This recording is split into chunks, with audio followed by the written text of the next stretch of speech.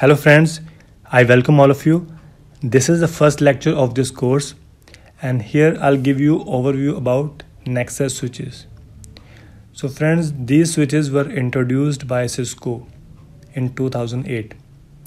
They wanted to meet the growing need of network expansion because customers were looking for switches which could uh, provide high port density, zero latency, high performance, high availability, scalability, and business continuity.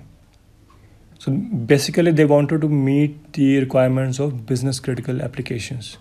There are many customers which uh, deal with these kind of applications, like your banks, financial institutions, share markets, and there were some customers which deal with huge flow of data like Gmail, Google, Facebook, Instagram. They wanted a switch which could meet these requirements. So Cisco introduced these switches.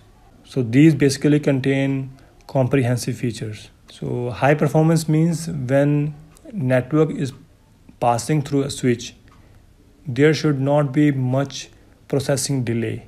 There will be, but it should be in microseconds and uh, switch should have high port density like it should have 40 g ports 100 g ports all right scalability means if your network has expanded so the switches should be able to handle the load.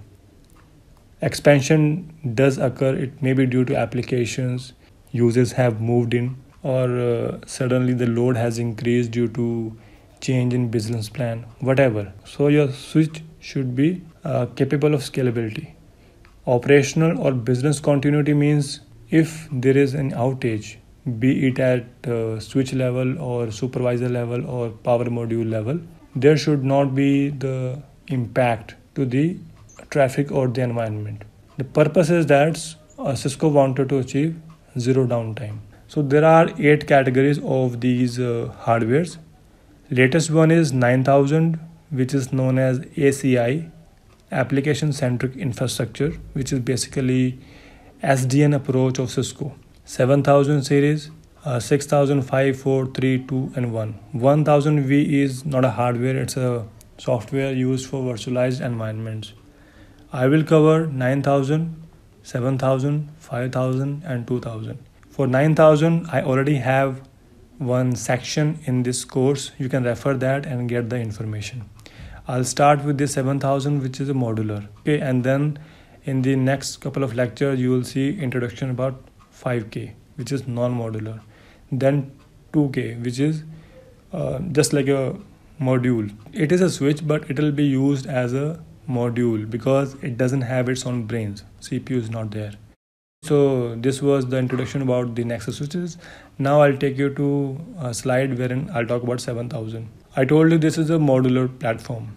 So modular means there would be modules which you can attach or detach. So there are basically two subcategories of 7000. First one is 7000 itself and second one is 7700. Architecture wise, design wise, there is no difference. It is just that 7700 is more advanced in terms of uh, port density, high throughput in terms of uh, complete chassis high traffic handling capacity of each module.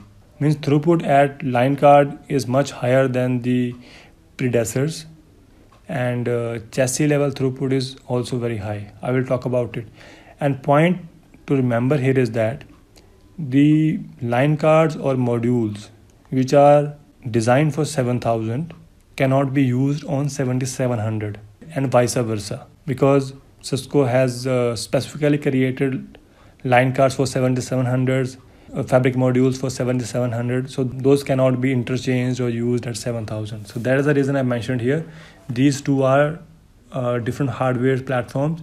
So remember that the components of 7000 series cannot be used in 7700 and vice versa. So design wise there is not uh, there's no much difference. Architecture is same. The cli is same. Once cisco launches the NXOS version for 7000 they will also launch it for 7700 at the same time the feature wise same it is just that it is uh, more capable of handling large amount of data provides high performance to the network environment. So there are four main components in this uh, 7000 series, which includes 7700. First one is chassis. Second one is uh, input output modules or payload modules. Supervisor engines, that is your CPU, the brains, and the fabric modules. I'll cover all of these four now. Chassis just like your house. It will contain all of your supervisor modules, input output modules, fabric modules, power supplies, fan trays, fan modules. It will also provide cooling mechanism to the complete infrastructure which is inside this chassis. So it is just like your own home.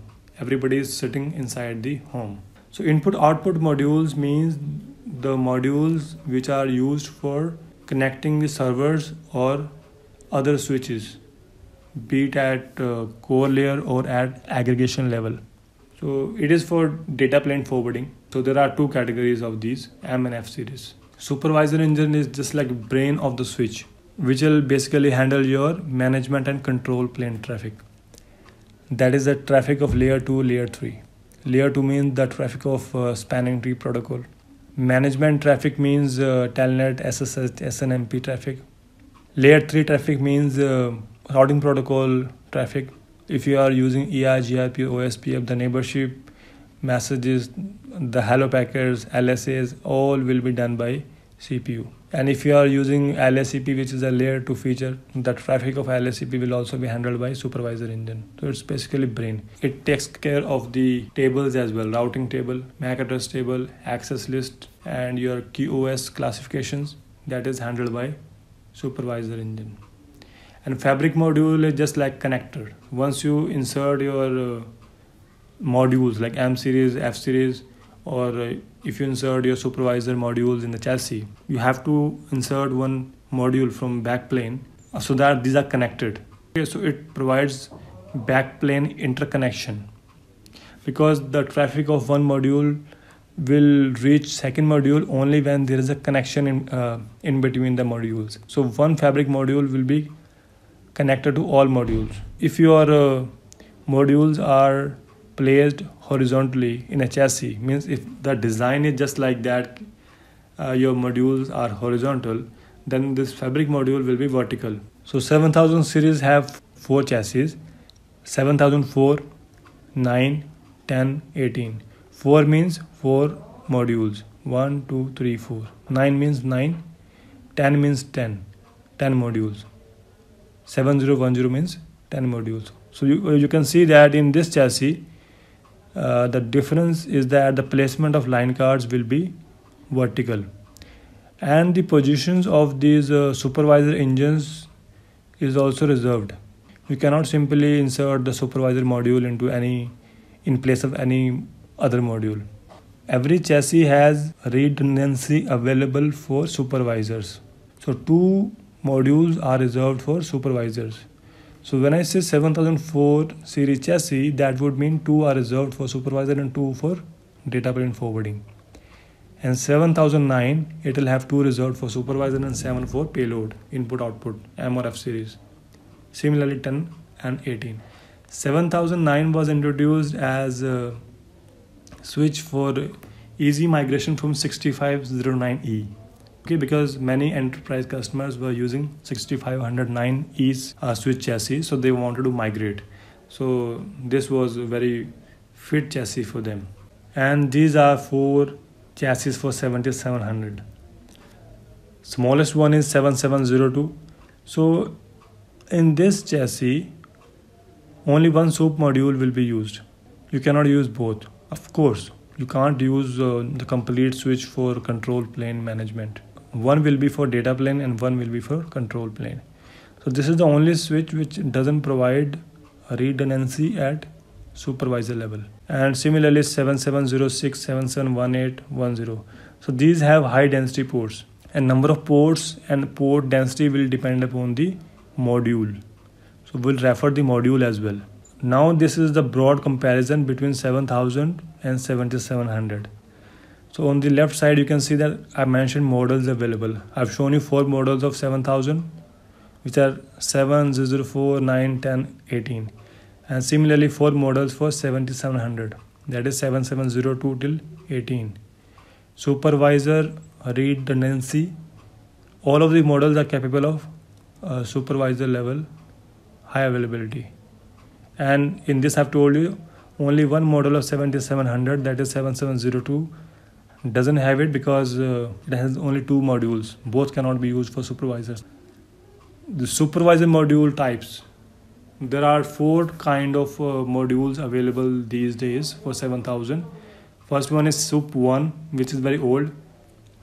Then sup 2 and sup, uh, sup 2e 7700 is separately uh, described by cisco because most of the old modules are not fit to work in this. So they have like in this case sup 1 doesn't support 7700 sup 2 doesn't support 7700 as well.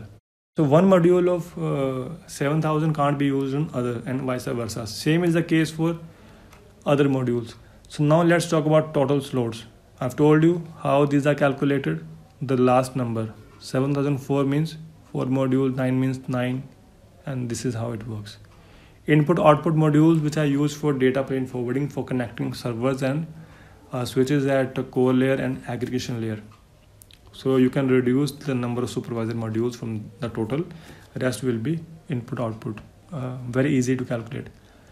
Maximum bandwidth per slot means how much traffic one module can handle per slot. The best module can handle 550 gbps so there are some modules which are not capable of that this much 550 i have just mentioned the highest or the maximum bandwidth available for this chassis.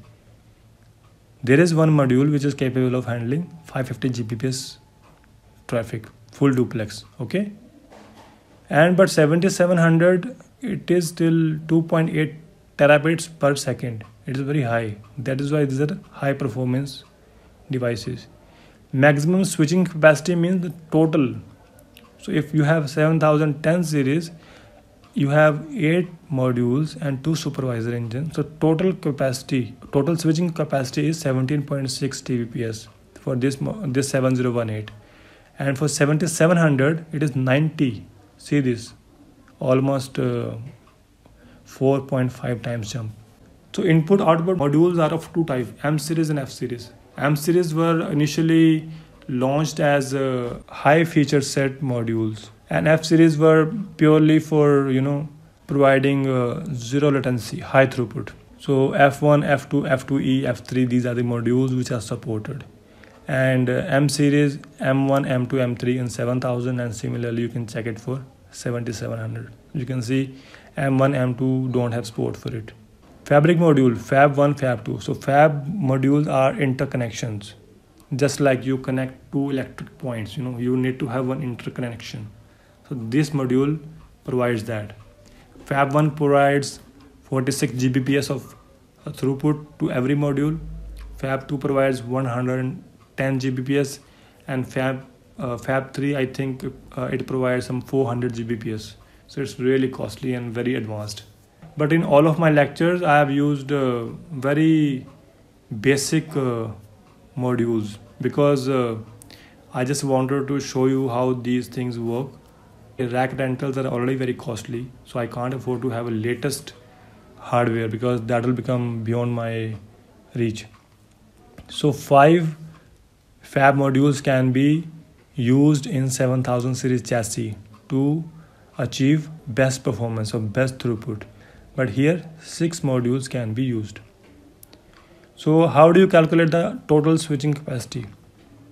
Let's take one example for 7718 so it has 18 total module. So input output modules are 16 so you know for this chassis the per module capability is 2.8 tbps. I mentioned here 2.8 tbps. It also belongs to 7718 so each module is capable of that much so multiply 2.8 with 16 and then multiply it, it by 2 for full duplex operation. You'll you will reach 89.6 roughly equal to 90 tbps that is why this 90 tbps is mentioned here. This is a comparison of uh, 7000 series chassis. Four modules uh, four models of 7000 are available and four for 7700 which i'll cover in next slide the same thing supervisor level redundancy all have it. Input output module we have come to know how these are calculated. Bandwidth per slot 440 gbps. This uh, chassis is capable per module okay? This is per module. Switching capacity 1.92 for this. Number of 1 ge ports. So these ports depend upon the modules the type of module you use so if you have a module which has a capability of uh, 1 ge port 48 port let's assume so in 7004 chassis if you use both of those modules then total number of 1 GE port will be 96. Similarly for 10G port, means this chassis can maximum support 96 ports. Okay, and if you have one module which is capable of 100 GE port, and that module is there, I will show that to you once I take you to next uh, uh, chapter. So that module has six GE ports so for 7004 there would be uh, support for 12 uh, 100 G port. Similarly for 7010 48. This is the capability of each chassis. Rack unit means the height. 1 RU means 1.75 inches. So uh, you can multiply 7 with 1.75 to uh, to reach the height. So this is really big in size 7018 airflow side to rear side to side front to back side to side. And this is for 7700 chassis. You will see that everything is high here. These are really high performance uh, devices. You can read if you want to know more about these. But notice here is that the airflow is front to back in all of these devices. And see the switching capacity 7718 has 90 and 7702 doesn't have supervisor level redundancy. I mentioned it as yes. It should be no. Okay? Just uh, i'll correct this ppt once i upload. So what is the supervisor engine this is the brain of the switch that controls the layer 2 and layer 3 services. So there are some protocols like in layer 2 stp lacp the traffic will be handled by supervisor engine. For layer 3 means your routing protocol traffic and uh, redundancy capabilities configuration management. Your configuration will be stored here.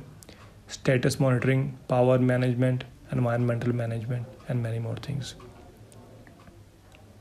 so your routing table will be handled by it i've mentioned here management functions like telnet ssh snmp netconf control plane functions like routing protocol stp lacp so you can also use, uh, there is a feature to debug the capabilities. You can use Ethereal which is inbuilt to capture the traffic which is handled by the CPU.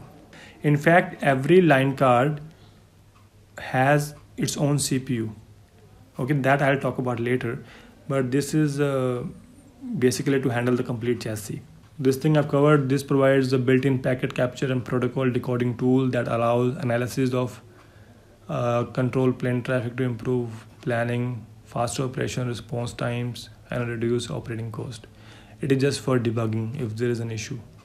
So this is the uh, difference between uh, different supervisor modules that we have. Okay, you can see that two are for uh, 7700 and three are for 7000. I have prepared this uh, slide for you just for your information. VDCs means virtual device context, a virtual way of creating switches. So this SUP one is capable of uh, handling having four VDCs and all additional supervisor modules are having one admin VDC. Admin VDC will only be for administrator, uh, administration. FEX means a fabric extender. How many FEXes can you connect per how many FEXes can be handled by supervisor module in a chassis. Weight I mentioned, dimensions I have mentioned. And these are the photographs of uh, 7700 SUP 2E and SUP 3E. Actually, notice that these are half slot modules. One will be connected on left side and other one will be connected on right side. These are not complete modules. And these are for 7000 sup 1 sup 2 sup 2e both sup 2 and 2e look same because 2e just uh, an extended version of uh, sup 2 you can attach and detach. So friends uh, i've tried to give you overview of these switches so you can uh, go through the information which is mentioned in this uh, presentation. I will upload this uh, presentation file in pdf format and it will be really helpful to you. And uh, next uh, lecture i will cover m series and f series modules of 7000 after that i'll cover 5000 series and 2000 series. And i also have a lecture on this naming convention of uh, modules payload modules. So do give me appropriate rating and feedback. Thank you so much